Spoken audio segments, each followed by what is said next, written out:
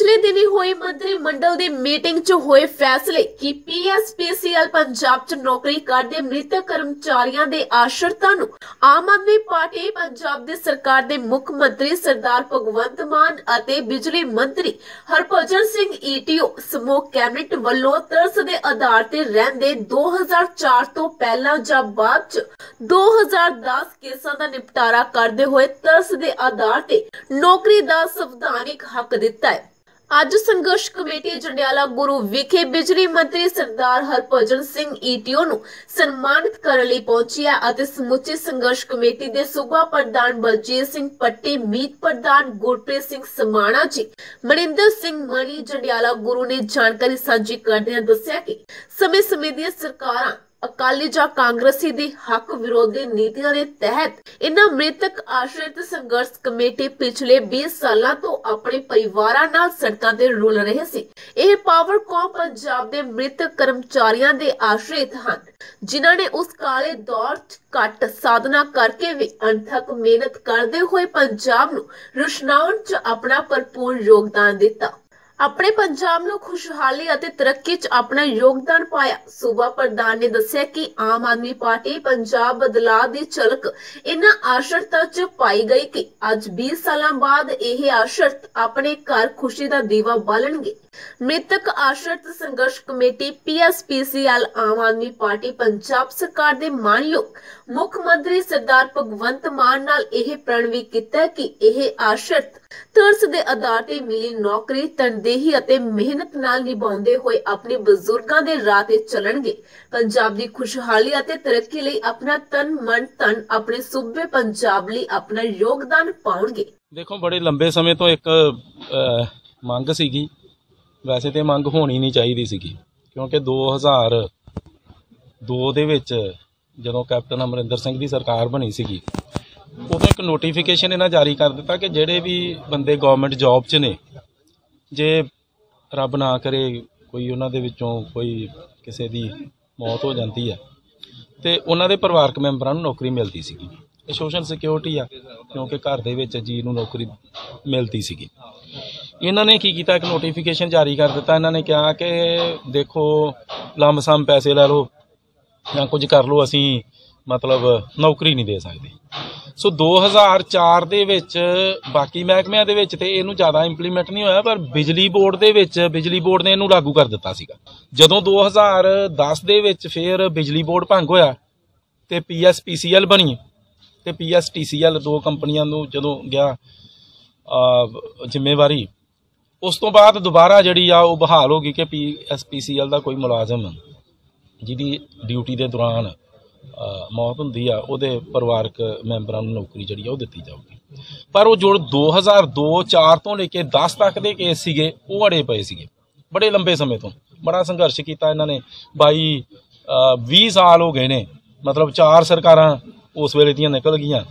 ਮੈਨੂੰ ਵੀ ਮਿਲੇ ਜਦੋਂ ਮੈਨੂੰ ਜ਼ਿੰਮੇਵਾਰੀ ਬਾਪ ਭਗਵੰਤ ਸਿੰਘ ਮਾਨ ਸਾਹਿਬ ਨੇ ਮੈਨੂੰ ਜ਼ਿੰਮੇਵਾਰੀ ਦਿੱਤੀ ਬਿਜਲੀ ਵਿਭਾਗ ਦੀ।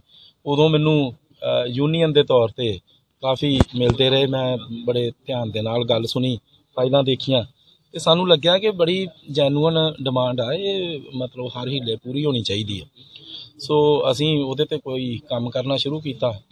6100 ਬੰਦੇ ਸੀਗੇ, ਜਿਹੜੇ ਇਸ ਤਰ੍ਹਾਂ ਦੇ ਸੀਗੇ, ਉਹਨਾਂ ਦੇ ਵਿੱਚੋਂ ਕੁਝ ਨੇ ਲਮਸਮ ਪੈਸੇ ਲਏ ਸੀਗੇ, ਕੁਝ 280 ਕਿਤੇ ਉਹ ਸੀਗੇ, ਜਿਨ੍ਹਾਂ ਨੇ ਉਹ ਪੈਸੇ ਵੀ ਨਹੀਂ ਲਏ ਸੀਗੇ। ਆ, ਫਿਰ ਹਮ ਮਨੀ ਜੰਡਿਆਲੇ ਦਾ ਮਨਿੰਦਰ ਮੇਰੇ ਨਾਲ ਹੀ ਇਹਨਾਂ ਦੇ ਇਹਦੇ ਦਾਦੀ ਜੀ ਦਾ ਭੋਗ ਸੀਗਾ। 2019 ਦੇ ਵਿੱਚ ਉਦੋਂ ਅਜੇ ਸਰਕਾਰ ਨਹੀਂ ਸੀਗੀ। ਉਦੋਂ ਵੀ, ਮੈਂ ਉਦੋਂ ਵੀ ਉੱਥੇ ਬੋਲਿਆ ਸੀਗਾ ਕਿ ਦੇਖੋ, ਇਹੋ ਜਿਹੇ ਬੱਚੇ ਜਿਨ੍ਹਾਂ ਦੇ ਮਤਲਬ, ਇਸ ਤਰ੍ਹਾਂ ਪਰਿਵਾਰਕ ਮੈਂਬਰ ਜਿਹੜੇ ਨੇ, ਉਹ ਨੌਕਰੀ ਦੇ ਦੌਰਾਨ ਪੂਰੇ ਹੋ ਗਏ ਨੇ, ਨੌਕਰੀ ਮਿਲਣੀ ਚਾਹੀਦੀ ਹੈ। ਸੋ ਮੈਨੂੰ ਇਹਨਾਂ ਨੇ ਵੀ ਬੜੀ ਵਾਰੀ ਆ ਕੇ ਯਾਦ ਕਰਾਉਣਾ, ਬਾਕੀ ਯੂਨੀਅਨ ਨੇ ਵੀ ਆਉਣਾ, ਤੇ ਮੈਂ ਹਮੇਸ਼ਾ ਹੀ ਵਿਸ਼ਵਾਸ ਦਿਵਾਉਂਦਾ ਰਿਹਾ ਕਿ ਮੈਂ ਸਰਦਾਰ ਭਗਵੰਤ ਸਿੰਘ ਮਾਨ ਸਾਹਿਬ ਨੂੰ ਜ਼ਰੂਰ ਹੀ ਉਹਨਾਂ ਦੇ ਧਿਆਨ ਦੇ ਵਿੱਚ ਇਹ ਚੀਜ਼ ਲਿਆਉਂਗਾ ਕਿ ਬਿਲਕੁਲ ਜੈਨੂਅਨ ਡਿਮਾਂਡ ਹੈ ਇਹਨੂੰ ਪੂਰਾ ਕੀਤਾ ਜਾਣਾ ਚਾਹੀਦਾ। ਸੋ 5-6 ਮਹੀਨੇ ਅਸੀਂ ਇਹਦੇ ਤੇ ਕੰਮ ਕੀਤਾ। ਵੈਸੇ ਇਹ ਜਿਹੜੀ ਮ੍ਰਿਤਕ ਆਸ਼ਰਿਤ ਕਮੇਟੀਆਂ ਬਣੀਆਂ ਯੂਨੀਅਨਾਂ ਬਣੀਆਂ ਇਹਨਾਂ ਨੇ ਵੀ ਸਾਡਾ ਬਹੁਤ ਸਾਥ ਦਿੱਤਾ। ਵਾਹਿਗੁਰੂ ਜੀ ਕਾ ਖਾਲਸਾ। ਵਾਹਿਗੁਰੂ ਜੀ ਕੀ ਫਤਿਹ। ਜਿੰਨੇ ਵੀ ਅੱਜ ਇੱਥੇ ਬੱਚੇ ਇਕੱਠੇ ਹੋ ਕੇ ਆਏ ਨੇ, ਇਹਨਾਂ ਬਹੁਤ ਲੰਮਾ ਸੰਘਰਸ਼ ਲੜਿਆ। ਤਕਰੀਬਨ 20 ਸਾਲ ਹੋ ਗਏ ਇਹਨਾਂ ਨੂੰ ਸੰਘਰਸ਼ ਲੜਦਿਆਂ ਨੂੰ। ਮ- ਮ੍ਰਿਤਕ ਆਸ਼ਰਤ ਸੰਘਰਸ਼ ਕਮੇਟੀ। ਸਰਕਾਰਾਂ ਤਾਂ ਤਕਰੀਬਨ ਹ- ਹਰੇਕ ਆਉਂਦੀ ਹੀ ਰਹੀ ਆ ਤੇ ਜਾਂਦੀ ਰਹੀ ਆ, ਪਰ ਇਹਨਾਂ ਨੇ ਆਪਣਾ ਸੰਘਰਸ਼ ਜਾਰੀ ਰੱਖਿਆ। ਆਮ ਆਦਮੀ ਪਾਰਟੀ ਸਰਕਾਰ ਨੇ ਆ ਪਿਛਲੇ ਕੈਬਨਿਟ ਦੇ ਵਿੱਚ ਬਹੁਤ ਵਧੀਆ ਫੈਸਲੇ ਲਏ ਨੇ। ਜਿੰਨੇ ਵੀ ਫੈਸਲੇ ਤੇ ਬਹੁਤ ਵਧੀਆ ਲਏ ਨੇ।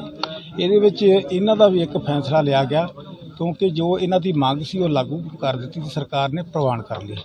ਉਹਦੇ ਨਾਲ ਪੈਨਸ਼ਨ ਬਹਾਲੀ ਦਾ ਵੀ ਸੀ ਤੇ ਉਹ ਵੀ ਪ੍ਰਵਾਨ ਕਰ ਲਈ ਹੈ। ਫਿਰ ਜਿੰਨੇ ਮੁਲਾਜ਼ਮ ਉਹਨਾਂ ਦਾ 6% ਡੀਏ ਵੀ ਦੇ ਦਿੱਤਾ ਗਿਆ। ਤੇ ਖੈਰ ਅਸੀਂ ਬਹੁਤ ਬਹੁਤ ਧੰਨਵਾਦ ਕਰਦੇ ਮੁੱਖ ਮੰਤਰੀ ਭਗਵੰਤ ਸਿੰਘ ਮਾਨ ਜੀ ਦਾ ਔਰ ਸਰਦਾਰ ਹਰਭਜਨ ਸਿੰਘ ਈਟੀਓ ਸਾਹਿਬ ਜੀ ਦਾ।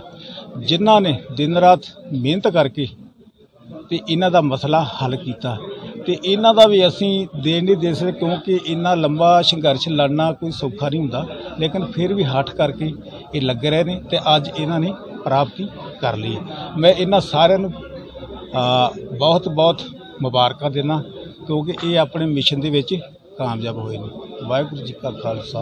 ਵਾਹਿਗੁਰੂ ਜੀ ਕੀ ਫਤਿਹ। ਪ੍ਰਧਾਨ ਜੀ ਤੁਸੀਂ ਮਤਲਬ ਕਿ ਆਪਣੇ ਸੰਘਰਸ਼ ਵਿੱਚ ਜਿੰਨਾ ਜਿੰਨਾ ਤੁਹਾਡਾ ਸਾਥ ਦਿੱਤਾ ਵਾ ਤੇ ਅੱਜ ਤੁਸੀਂ ਮੰਤਰੀ ਸਾਹਿਬ ਦਾ ਧੰਨਵਾਦ ਕਰਨਾ ਪਹੁੰਚੇ ਜੀ ਜਿੱਤਣ ਤੋਂ ਬਾਅਦ ਤੁਸੀਂ ਸਭ ਤੋਂ ਜ਼ਿਆਦਾ ਧੰਨਵਾਦ ਕਿਹਨਾਂ ਦਾ ਕਰਨਾ ਚਾਹੁੰਦੇ ਅਸੀਂ ਸਭ ਤੋਂ ਵੱਧ ਤਹਿ ਦਿਲੋਂ ਧੰਨਵਾਦ ਮਾਨ ਸਰਕਾਰ ਦਾ ਮੰਤਰੀ ਸਾਹਿਬ ਵੀਡੀਓ ਸਾਹਿਬ ਦਾ।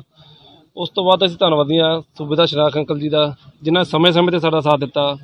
ਮੰਤਰੀ ਸਾਹਿਬ ਨਾਲ ਸਾਡੀ ਮੁਲਾਕਾਤਾਂ ਕਰਾਉਂਦੇ ਰਹੇ ਰਾਬਤਾ ਰੱਖਿਆ ਭਰੋਸਾ ਦਿੰਦੇ ਰਹੇ ਸਾਨੂੰ ਹਮੇਸ਼ਾ ਹੀ ਕਿ ਤੁਹਾਡਾ ਕੰਮ ਪਹਿਲ ਦੇ ਆਧਾਰ ਤੇ ਹੋਏਗਾ। ਉਸੇ ਚੀਜ਼ ਨੂੰ ਅੱਜ ਮਾਨ ਸਰਕਾਰ ਨੇ ਫੁੱਲ ਚੜਾਏ ਨੇ। ਸਾਡੇ ਜੋ ਤਸੱਦੇ ਆਧਾਰ ਤੇ ਬੰਦੇ ਆਖੀ ਸਾਨੂੰ ਪਹਿਲ ਦੇ ਆਧਾਰ ਤੇ ਦਵਾਏ ਗਏ ਨੇ। ਅਸੀਂ ਬਹੁਤ ਬਹੁਤ ਧੰਨਵਾਦੀ ਹਾਂ ਮਾਨ ਸਰਕਾਰ ਦੇ, ਸਮੁੱਚੀ ਆਪ ਟੀਮ ਦੇ।